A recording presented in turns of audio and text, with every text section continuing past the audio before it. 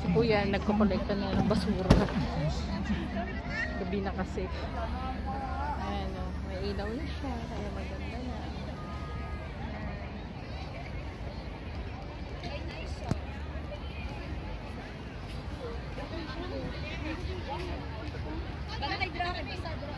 Nakapasok ako kanina kasi may ticket naman ako.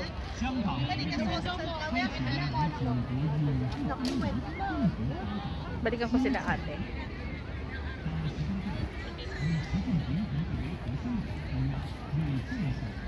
Ate, say hi! Para kapanood mo ito mamaya. Ayan. Hello! Ayan. Hi! Welcome to the vlog. Ayan, namit ko si ate.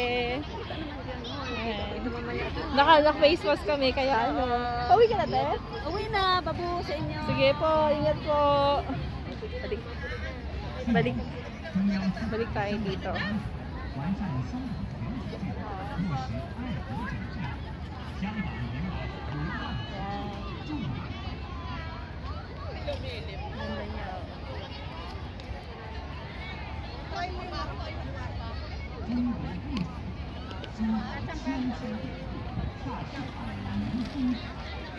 Ang hirap pala pag walang stick talaga. Maliwanag to.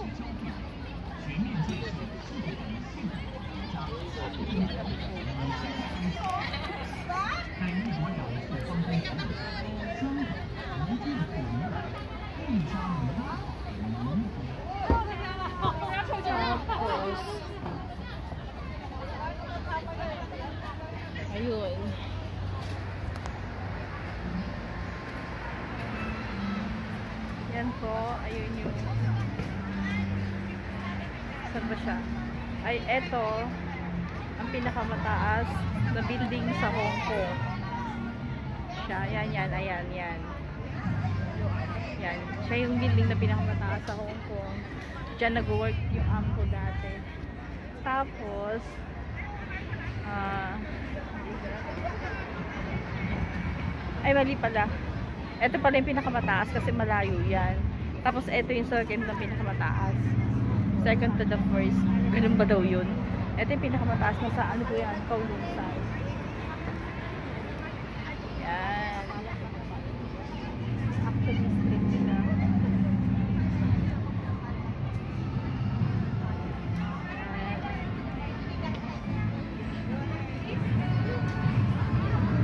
Yan, ang daming turista. Oh. Tapos yung floor niya, may pastel style.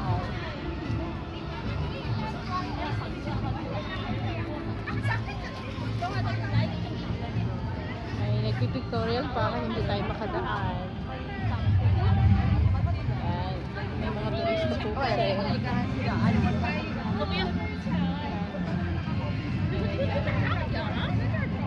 Lapit po natin. 不用进，要拍风景是不用进的。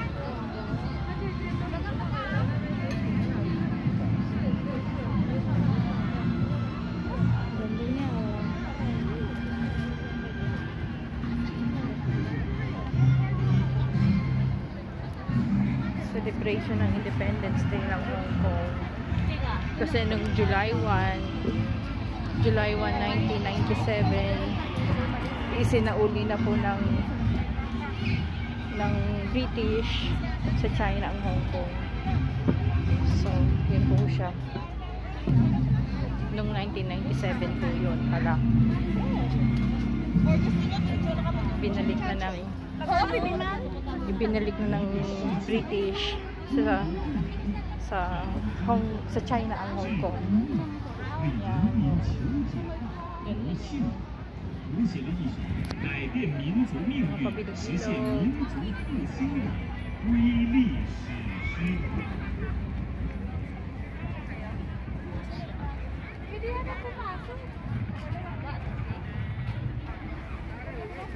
Yeah. Kanina, bago po nakapasok ko sa loob, may ticket naman ako.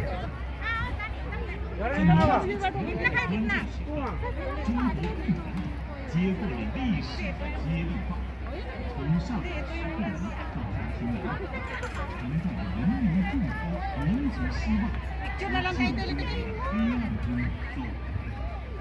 中国共产党。yung, yung nasa screen, history na ako ng history ng China Hong Kong.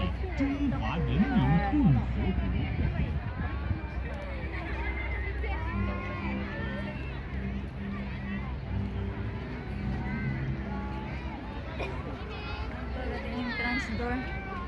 Andun po ang entrance. Ay, layuan. Ano ba yan? Mapila pa, no? Ay, hindi po. Ay, wala naman. Ay, konti lang naman siya. Pwede, ano? Pwede pong pumasok. Pwede, pala po. Ayun, doon, doon po ang entrance. Pwede Mabilis lang ng pasok yan. Mabilis lang naman po yan. Ano po, no?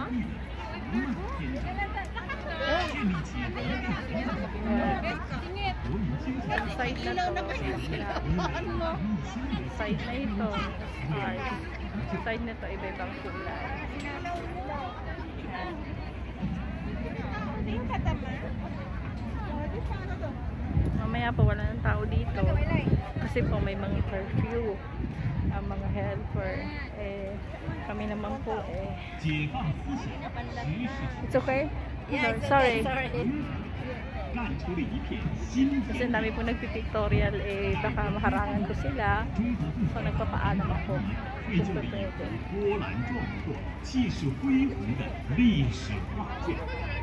中国仅用四十多年时间，便走完了发达国家几百年的 Doon no? Ayun no? 人民生活发生翻天覆地变化。特别是党的十八大以来，我们党领导人民开阔视野，党和国家事业发展取得新的历史性成就。中华民族 My God. 永远成为这样的复兴 Dito 到 naman 此 tayo. 伟大飞跃。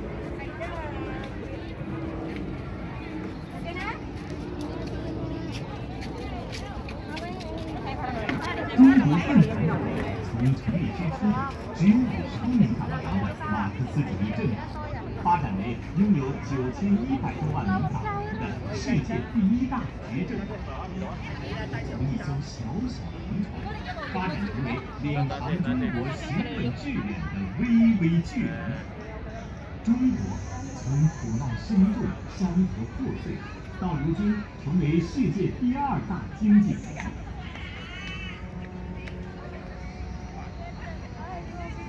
一国两制是中国共产党百年伟业的华彩篇章。上世纪八十年代初，以邓小平为代表的中国共产党人创造性的提出了“一国两制”伟大构想。另外， Dito tayo sa may seaside.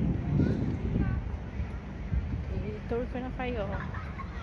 Sa mga kapatid ko na minsan hindi nakapunta rito, siguro yung namimiss na